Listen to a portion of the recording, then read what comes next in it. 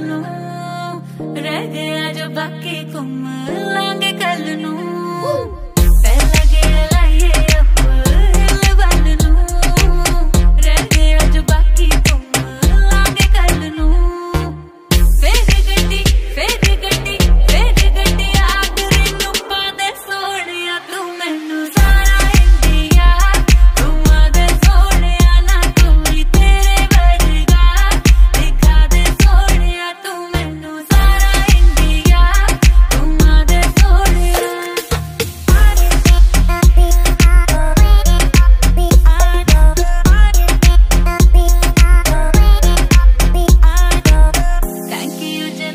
ਮੈਨੂੰ ਇਨਾ ਛੋੜ ਲਈ।